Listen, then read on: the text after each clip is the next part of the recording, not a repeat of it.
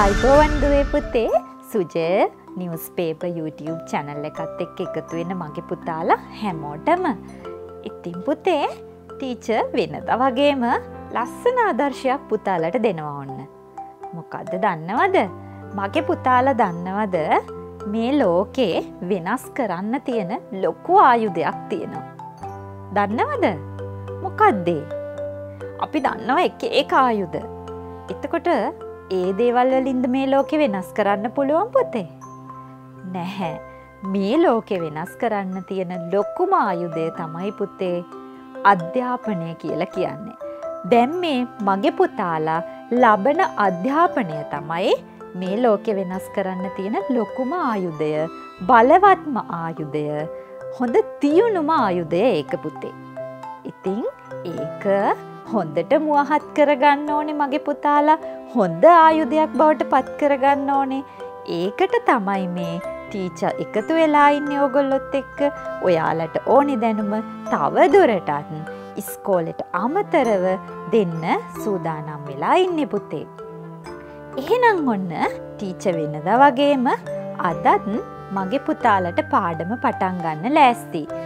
පාඩම පටන්ගන්න කලින් පුතේ හොඳට මතක් කරන්න ටීච පහුගිය පාඩම්වලින් කියල දුන්නා ඒක වචන නාමපද සහ බහුවචන නාමපද. ඔය දේවල් වලට අමතරව ප්‍රාණවාචී සහ අප්‍රාණවාචී නාමපද කියල දුන්න. මතකද? ඔව් ඊට පස්සේ ටීච ස්ත්‍රීලිංග සහ පුරුෂලිංග නාමපද කියල දුන්න. එකත් මතකයි. මෙන්න මේ දේවල් එක්ක පුතේ අද පාඩම ටිකක් අමාරුයි. හැබැයි මෙතන්ට හොඳට දාගන්න හොඳ අවබෝධයෙන් අහගෙන ඉන්න පුළුවන්නං පොතක් පෑනක් අරගෙන මගේ පුතාල ලියල තියාගන්න. ලියල ටීචත් එක් එකතු වෙන්න. පාඩමේ තියෙන ගැටලු තැන් අවබෝධ වෙන්නේ ඔන්න එතකොට පුතේ. හරිද? එහෙනම් අපි පාඩමට යමුද? ලෑස්තිද? හරි ඔන්න එහෙනම් ටීච පාඩම පටන් ගන්නවා. හරි පුතේ ඔන්න අද පාඩම ටීච කිව්ව ටිකක් අමාරුයි කියලා. මගේ පුතාලට අමාරු දෙයක් තියෙනවද? නෑ නෑ ටීච දන්නවා මගේ පුතාලට අමාරු දෙයක් නැහැ. අපි හොඳට ඉගෙන ගමු. අද තියෙන්නේ පුතේ අර ඉගෙනගත්ත පුරුෂලිංග නාමපදයක් උක්ත වෙන්නේ කොහොමද කියලා දැනගන්න. මගේ පුතාලට තියෙනවා වාක්‍ය හදන්න වාක්‍ය ලියන්න ලියපු වාක්‍යයක් වෙනස් කරන්න මේ හැමදේටම ඔය ටීච කියපු ටික ඕන වෙනවා. හැබැයි මෙන්න මේ උක්ත පදය කියන එක අත්‍යවශ්‍යයි පුතේ. වාක්‍යයක් ලියනකොට වාක්‍යයක් කියනකොට අපි එතනදී යම් කිසි දෙයක් කරන කෙනෙක් ඉන්නවා පුතේ. දන්නවද මොකක් හරි දෙයක් කරන කෙනෙක් ඉන්නවා. මෙන්න මේ කරන කෙනා තමයි පුතේ උක්තය කියලා කියන්නේ. කරන කෙනා තමයි උක්ත පදය කියලා කියන්නේ. මොකක් හරි ක්‍රියාවක් කරන කෙනා. දැන් ඔන්න ටීච ඔයාලට පාඩම උගන්නනවා. ටීච කවුද? උක්ත පදය. ඔයාල කවුද ඔයාල පාඩම ඉගෙන ගන්නවා කියලා කිව්වොත් ටීච. ආ එතකොට ඔයාලා උක්ත වෙනවා පුතේ. එහෙනම් ක්‍රියාවක් කරන පුද්ගලයා කවුද උක්ත පදය බවට පත්වෙනවා. ඔන්න ටීච කියනවා ළමයා වේගයෙන් දුවනවා. කවුද පුත්තේ වේගෙන් දුවන්නේ? ළමයා. එතකොට ළමයා මොකද වෙලා තියෙන්නේ? උක්ත වෙලා. ඇයි ළමයා උක්තයි කියලා කියන්නේ පුතේ? ළමයා තමයි මේ ක්‍රියාව කරන්නේ. ක්‍රියාව කරන පුද්ගලයා තමයි ටීච කිව්වේ උක්ත පදය කියලා. උක්ත පදය කියන එක පැහැදිලිද මගේ පුතාලට. ඔවු යම් කිසි ක්‍රියාවක් කරන පුද්ගලයා උක්තය කියලා හඳුන්වනවා. උක්ත පදය කියලා හඳුන්වනවා. දැන් උක්ත පදය පැහැදිලි. උක්ත පදය අවබෝධ කරගන්නවනම් එතනින් එහාට යන්න මගේ පුතාලට පුළුවන්. රයිට්? හරි එහෙනම් ඔන්න උක්ත පදය තේරුණා උක්ත පදය පැහැදිලි වුණා දැන් යමු අපි මෙන්න මේ උක්තයක් අඳුරගන්න තව එක දෙයක් අපි දැනගන්න ඕනෙ පුතේ. ටීච කියනවා ටීචර්ගේ අර ගෙදර ඉන්න බල්ලා හැපුවා කියලා. දැන් මගේ පුතාලට ටීච එහෙම කිව්වොත් අර බල්ලා පුතේ ටීචට හැපුවා. කිව්වොත් මගේ පුතාල දන්නවද බල්ල කවුද කියලා? ටීච පෙන්නල කියනවා පුත්තේ අන්න අර ගෙදර ඉන්න බල්ල ටීචට හැපුවා. දැම් මගේ පුතාල දන්නවා කවුදේ බල්ල කියලා. නේද? ටීච මෙහෙම කියනවා. පුත්තේ අර ගෙදර ඉන්න බල්ලන්ගෙන් බල්ලෙක් ටීචට හැපුවා කියනවා. මගේ පුතාලට තේරෙනවද හොයාගන්න බල්ලව. නෑ පුතේ ටීච බල්ලා හැපුව කිව්වොත් මගේ පුතාල දන්නව හැපුවේ කියලා. බල්ලෙක් හැපුව කිව්වොත් අපිට ඒ බල්ලව අඳුරගන්න බැහැ. එහෙනම් බා කියන පදේ අපි කිව්වොත් එයා නිශ්චිතව අඳුරගන්න පුළුවන් කෙනෙක්. පැහැදිලිද? මෙහෙම කිව්වොත් ළමයා දුවනවා. අපි දන්නවා කවුද වේගෙන් දුවන්නේ කියලා. හැබැයි පුතේ ටීච කිව්වොත් ළමයෙක් වේගෙන් දුවනවා කියලා එයා නිශ්චිතව අඳුරගන්න පුළුවන්ද? බැහැ. එයා නිශ්චිතව අපි දන්නේ නෑ කවුද කියලා. නේද? මෙහෙම හිතන්නකො තව ටිකක් අවබෝධ වෙන්න. ඔන්න ඔයාලා දැන් පන්තියේ ඉඳගෙන ඉන්නවා. ඔයාලා හරි බයයි විදුහල්පතිතුමාට. නේද? අපි ප්‍රින්සිපල් සර්ට ලොකු සර්ට හරි බයයි ඔන්න. ඔන්න දැන් පන්තියේ කෑ ගහනවා දඟලනවා ඔය වෙලාවට ඔන්න ලොකු සර් එනවා පන්තියට. හරි පන්තියට ඇවිල්ලා ඔන්න කියනවා ඔය ළමයා නැගිටින්න. දන්නවද එතකොට නැගිටින්න කවුද කියලා? ඔව් ඔය ළමයා නැගිටින්න කියලා සර් පෙන්නලා කියනවා.